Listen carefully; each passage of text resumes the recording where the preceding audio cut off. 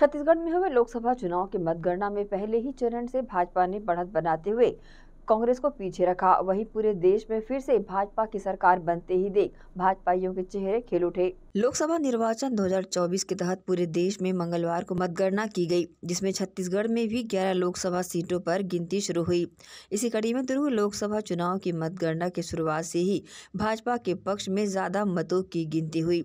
पहले ही चरण से भारतीय जनता पार्टी के प्रत्याशी विजय बघेल ने कांग्रेस प्रत्याशी राजेंद्र साहू को पीछे रखा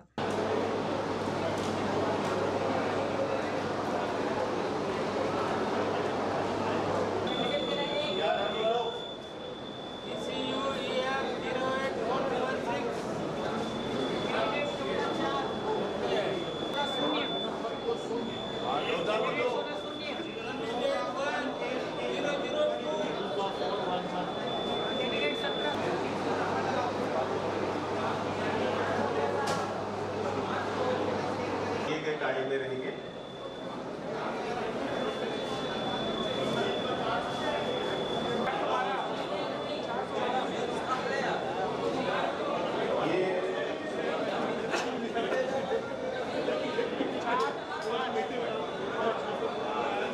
इस दौरान दुर्ग लोकसभा सांसद और भाजपा प्रत्याशी विजय बघेल मतगणना स्थल श्री शंकराचार्य कॉलेज पहुँचे, जहाँ उन्होंने कार्यकर्ताओं से मिलकर अग्रिम जीत की बधाइयाँ ली। इस दौरान मीडिया से चर्चा करते हुए विजय बघेल ने कांग्रेस पर कटाक्ष करते हुए उन्हें फ्लॉप बताया। जनता जनार्दन का आशीर्वाद भरपूर मिला है। कार्यकर्ता भाइयों, बहनों, युवा साथियों ने पूरी मेहनत की है और उसका प्रतिफल मिलने का दिन है। सबके चेहरे में खुशी है, सबके चेहरे में उमंग है। और सारे आंकड़े बता रहे हैं कि इस बार हम लोग और ज़्यादा अंतर से ये चुनाव दुर्ग लोकसभा का जीतेंगे।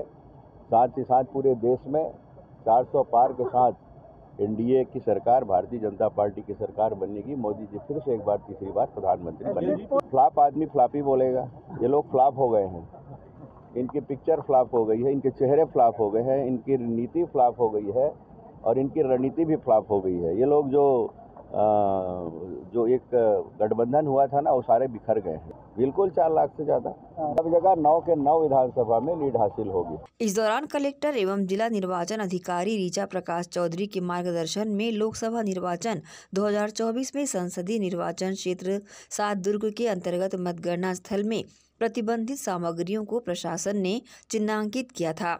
अपर कलेक्टर एवं उप जिला निर्वाचन अधिकारी बी के दुबे से मिली जानकारी के अनुसार मतगणना हॉल के भीतर मतगणना के परिणाम का योग करने के लिए प्रत्येक अभ्यर्थी एवं उनके निर्वाचन अभिकर्ता को एक एक एनालॉग कैलकुलेटर दिया गया था। इसके अलावा मतगणना परिसर के बाहरी गेट पर खान पान की व्यवस्था हेतु अभ्यर्थी निर्वाचन अभिकर्ता द्वारा नियुक्त व्यवस्थापक के माध्यम से भोजन के पैकेट भी परोसे गए।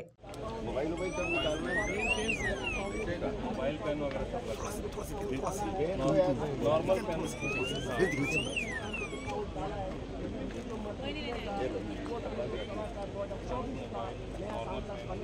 वर्षम काही नाही आहे ना वर्षम काय ड्राइवर भी नहीं है। मेरा घर में चश्मा गिरा चार दिन से लगे हुए हैं। भैया जी भैया जय जय श्री राम। अच्छा भाई भैया जय जय श्री राम। मैं यही आ रहा हूँ नहीं नहीं हम लोग नहीं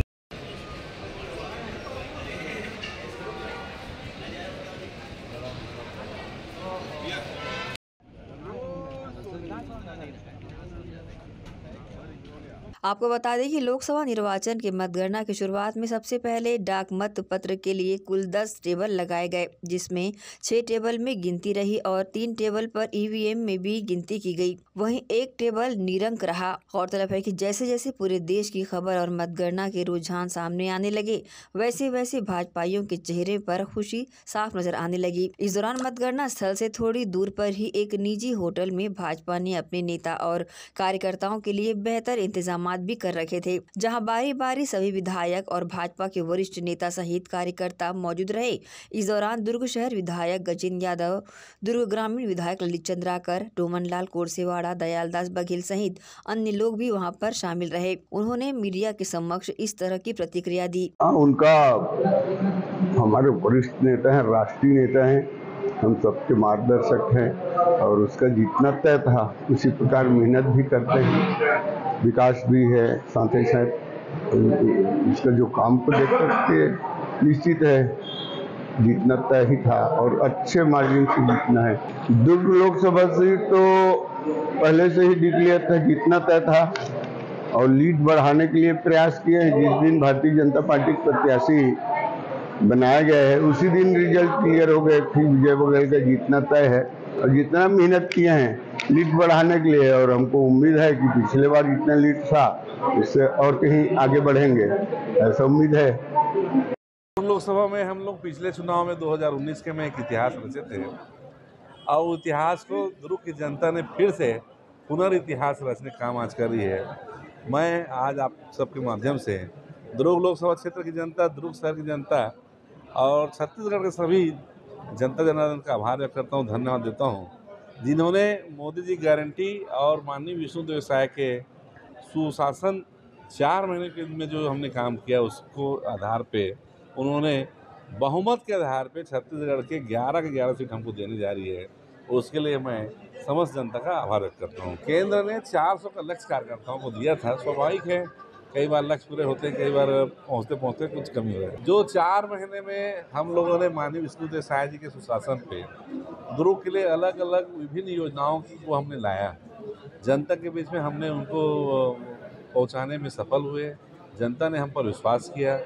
महतारी वंदन योजना जो चार किस्त लगातार सरकार ने बहुत ईमानदारी से दिया।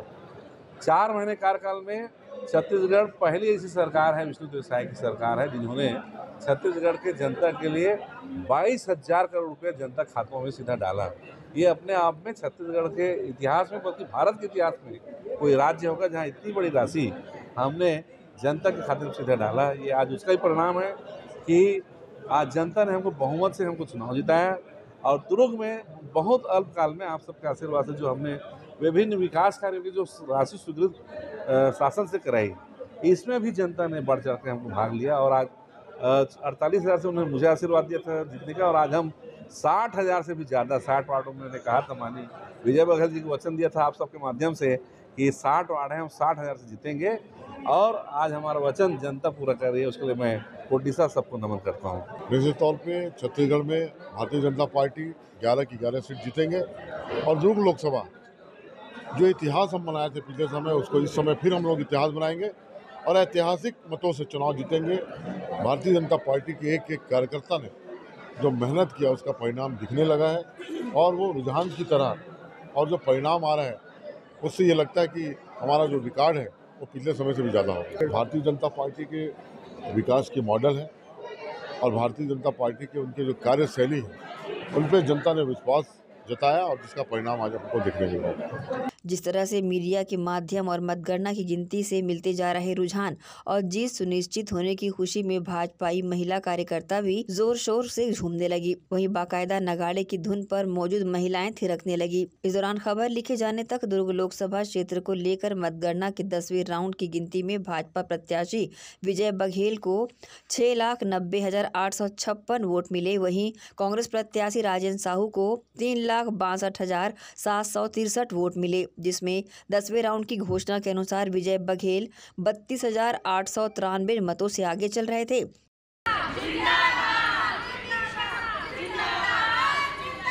देखिए, निश्चित रूप से अभी जो रुझान है उसमें कांग्रेस पार्टी मध्य प्रदेश में पीछे है। और